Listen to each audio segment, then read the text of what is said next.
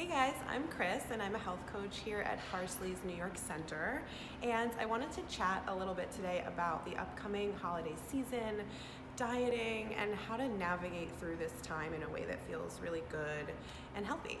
So, holidays can bring up a lot. If we find ourselves on diets or trying to lose weight, we often feel like we can't enjoy ourselves, and holiday events and parties become more about what we should be eating and shouldn't be eating, and feeling guilty or derailed from our diets, and just not having fun at all. So, at Parsley Health, we want to help you navigate through this time and feel like you can make decisions that are health healthy and sustainable and keep you feeling good this holiday season. So the holidays don't have to be all or nothing, right? Um, if you tend to struggle with your relationship to food or your body or find yourself on this whole roller coaster of dieting and just feeling overall confused and stressed about food choices, you may want to think about a different approach to the way we eat food. Um, and this approach is called intuitive eating, and it's something we talk about a lot to kind of get off the diet train and find habits that really feel good for you and your body. So, intuitive eating is an approach that really gives you the freedom to eat whatever your body's craving and gives you full permission to listen to your body, eat what you want without feeling shame or guilt around it. So, it's not based on food rules and food restrictions or weight loss, but rather it really teaches us to um, listen to our body's internal cues and respect them. So research shows us that this mindful approach to eating actually works, and we see things like binge eating and overeating and emotional eating decrease in folks who struggle with these things, um, and also a decrease in generally looking for external cues around what to eat and when to eat it, and a healthier relationship with food. And while this approach is in no way meant to be a diet or even focuses on weight loss, it actually is shown to prevent the same type of weight fluctuations um, that we might be trying to avoid with restrictive diets. So let's talk about how we can eat more intuitively, right? So there are 10 principles to intuitive eating, and I want to talk about a couple of the more major ones that we want to look to when we're starting to heal our relationship to food. And the first one is going to be ditching the diets.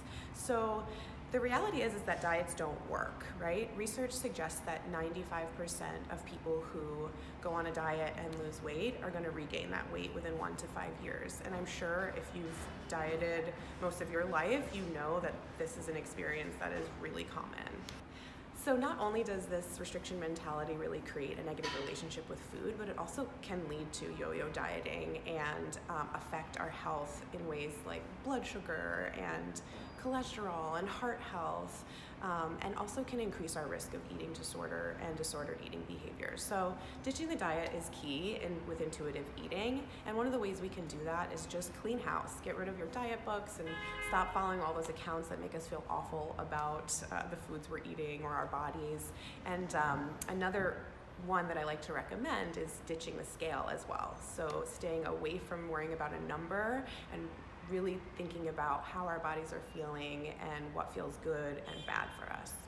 So the next principle I wanted to talk about was honoring hunger and fullness, right? So traditional diets teach us not to listen to our body signals. It tells us to listen externally and have rules and things that we have to follow about how much to eat and when to eat it.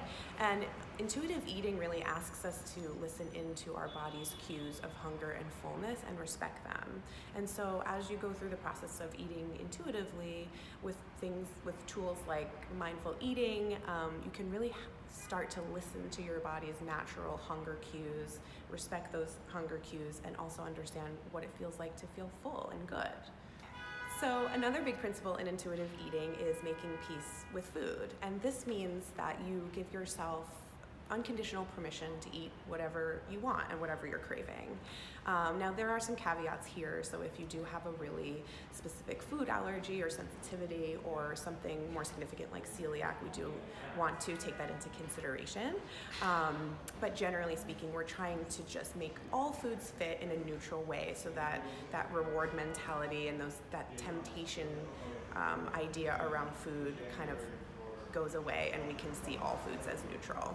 So when we do eat intuitively, we get to do this amazing thing, which is listen to our bodies, right? So if you um, have a sensitivity to dairy, for instance, or to gluten, um, it can be hard to actually listen to that when we're constantly thinking about weight or dieting or feeling like we can never have these foods, right? But if you can um, listen in and see okay, when I eat dairy, I have a stomach ache or I get a headache, and you can notice those cues without any judgment or guilt around the foods you're eating, it becomes way easier to take that information and use it. And those foods might be something that you do want to avoid for the most part, and that's okay because you're intuitive, intuitively listening to your body. So we also want to, um, on this intuitive eating journey, find a way to have other emotional outlets besides food to cope with emotions that we might be having. So food can be a coping mechanism, right? We can use it to soothe and comfort, um, but what happens is if this is the only tool in our emotional toolkit, it can get overused and then we find it just isn't working. You know, if we use a tool to fix try to fix all the things that are wrong with that one tool, it's not going to be the best um, way to actually fix the problem. So um, intuitive eating really teaches us some coping skills and ways to cope with our emotions outside of food so that we don't feel so reliant on food as a mechanism for coping. And some of these things might be, um, you know, building a meditation practice or journaling or maybe finding a movement um, or exercise plan that feels really good for your body. And so looking at what can really serve our emotions and what can really make us feel supported and healthy in these moments. So intuitive eating doesn't just take all the healthy, you know, eating principles and throw them out the window. Um, it really does encourage us to eat nutrient dense foods as a main part of our diet.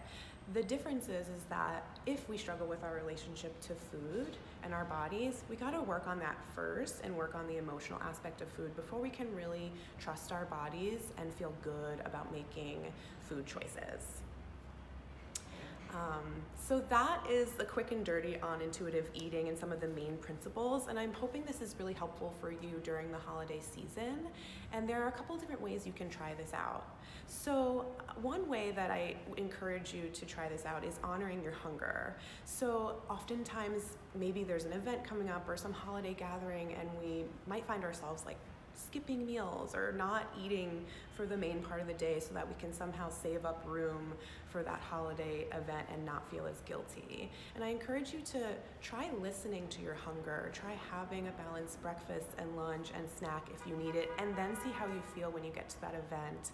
I'm sure that you'll find you have a different experience with the foods on your plate at that event, you know, rather than skipping um, full meals before going. Another way we can work on intuitive eating is you get to a party or a gathering and you see an amazing spread of food and a lot of desserts or a lot of dishes that maybe you wouldn't normally eat and maybe it's a little bit overwhelming and you feel a little bit out of control. Try to shift your perspective into that neutral, food neutrality space. Tell yourself if you had full access to all these foods and unconditional permission to have all the pies and all the, you know, stuffing and all the things every day, what would you choose in this moment? What would you really want to enjoy in this moment? And I guarantee you'll start to see yourself actually having a plate that's nice and balanced and really enjoying the food that's on your plate um, in that moment and then moving on to the next.